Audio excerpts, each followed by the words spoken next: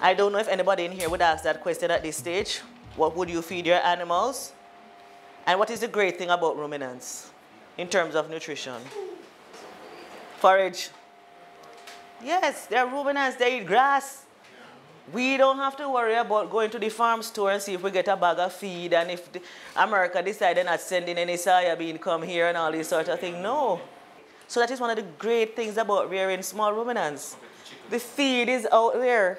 You can plant it, right?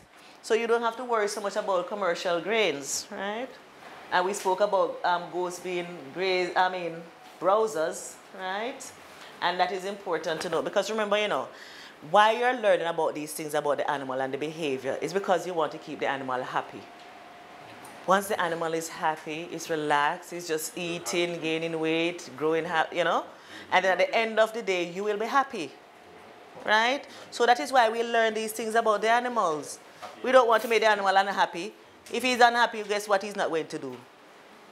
Exactly. He's not going to eat, probably not drinking water. And if he doesn't do all these things, we know all the problems that we can have when we have improper nutrition. So we're always trying to keep our animals happy. So if the goat saying want to browse, God knows we're going to let him browse. Right? We're going to elevate the hay tray, the hay rack, so that he can pull at it and feel like he's browsing. Right? Or if we're going to let him out, we have little trees that we plant that he can browse from right? So we understand the animal behavior so that we can keep the animals happy so that we can be happy. Of course, we also have to look at different factors that affect feed intake, and we emphasize feed because it's all about nutrition, right? So we say that sometimes there are feed factors, the taste, because some of us don't think that the animal should say, no, it not tastes good. Who is the goat to say that it don't taste good? But yes, sometimes it's just not palatable to them. They don't like it, and they're not going to eat it right? And you have ever seen persons who said they mix feed and they put little grain inside like corn and all this other stuff and they talk about the animal just selecting out yeah. what the animal wants? Yes, because the animal is selecting what is tasty. And if they have the opportunity to do that, that is what they will do, right? So you have to pay attention to the animal and how it's feeding, right? And what it's selecting. Smell is also an issue. So if the feed is smelling moldy or anything like that, the animal is not going to force itself to consume it.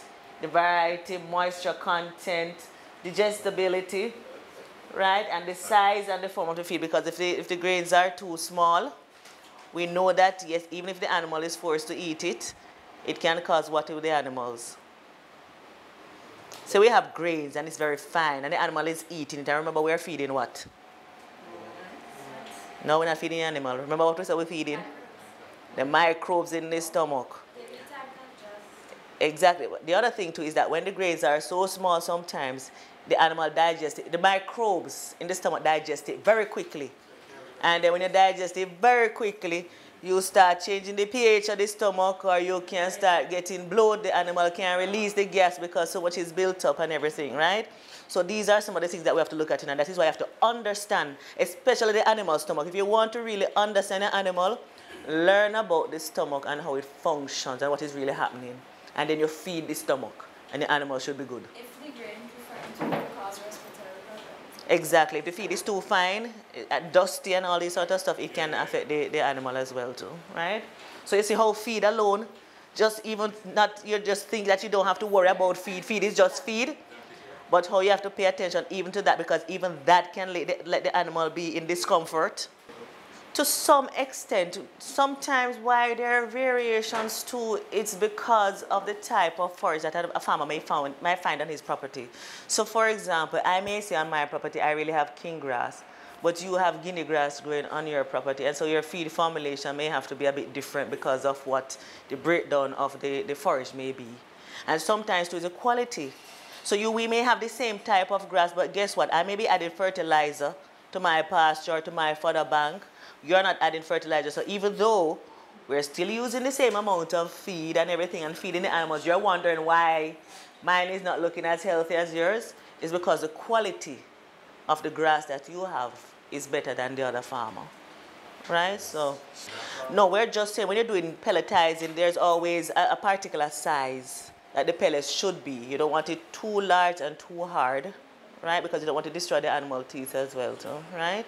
So all we're saying is that there are guidelines. So know these guidelines when you're looking at feeding your animal with pellets. The factory does that for us already, which is why sometimes we say we just buy the bag feed and we're not pelletizing our own feed because they have worked out the science of all of that already and know how to get all the nutrient packed in each of these little pellets that they produce. So that is why we sometimes depend on the commercial grain to give a little boost to our animals, right? But sometimes too, that dusty feed that we see is farmers trying to trick the system. Sometimes probably I'll give you a little pig feed around there, which is more probably finer and stuff, and trying to stretch feed and trying to mix it and dilute and experimenting with their animals. All right, so pay attention to that as well too, because remember what we said. These different feed formulations have different kind of nutrients in them that animals may be sensitive towards, right? So we have to be at, pay attention to that and not just feel that your your skill and you're tricking the animal or tricking the system. Because we love to that, you know. The skill where that is concerned, right? But it may backfire on us, right? The appetite of the animal, the preference size. Remember we spoke about different stages of growth, if it's in pregnancy or if it's a growing stage or the lactation stage, different quantity of feed and all these different sort of things that we will look at, right? But like I said, these are things that you're going to learn in detail later, so I'm just kind of browsing through. The feeding time, remember we try to say be consistent in the time that you give the animal because you don't want to upset. It, it's just like when you get used to a particular lunchtime, right? And you say by 12 o'clock you hear your stomach start preparing right? You hear, you can hear the acid start producing, and if nothing is in the, nothing is in the stomach, what it start do? The acid start digesting the walls of the stomach because something will have to be digested, and if it's not food, it's you, right? So you want to keep it consistent because when you throw that off, then you start feeling, you're not feeling so well, you probably start saying you get headache. So it's the same thing with the animals. When the microbes are looking forward to say, yes, this is my feed time, and I'm going to get feed, they're rearing and ready to go to start digesting something, and when they look nothing. And probably when they are probably all decide that no, they're not going to digest anything, they see feed rushing down, right? So you have to pay attention to all of that. Another thing with feeding time too is that remember we speak about climate change and we must pay attention to that.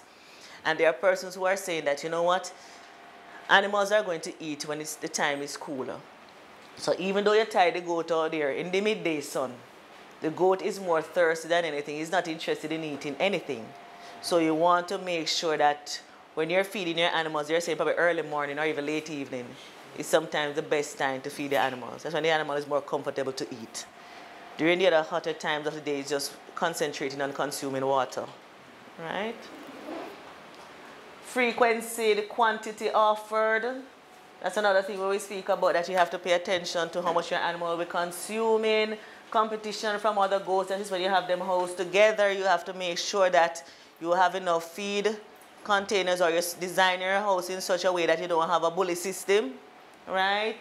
And the temperature, oh, we spoke about that shade, providing shade for your animals. As a matter of fact, we are hearing a lot now about the silvopastoral system. In the, in the, in the tropics, we used to think about just pastures. We like to see endless lands, flat lands with grass and animals out there grazing. But with the temperature that is coming out, they're actually saying, no, you need to have trees mm-hmm. on the pasture to provide shade. And they tell you how the shade even improve the quality of the grass on the pasture and all these different sort of things, right? So sometimes we have to be changing our management system because we have to be flexible, you know. If the climate is changing, we have to learn to change along with it. Or you're going to stay behind and, and, and, and die out, right? So we have to have that flexibility within us. Yeah, right? competition of other goats. Yes, competition with other goats. Fight. Mm-hmm. Space. Pardon me? Oh, oh. oh, you're talking about the competition from other goats?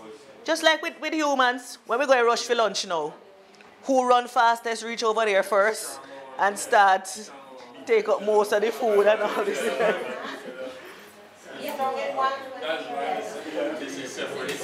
exactly. So just imagine, like you say, you have your goats, and you know the goats are at a particular age now where they're feeding, but you have the mothers, the does, the older ones that are there, and these little ones trying to squeeze in to try and get access to the feed. No, the bigger ones are going to push them aside, right? They must wait their turn, but by the time their turn come, the feed probably finish because the other ones are eating more than they should have been eating.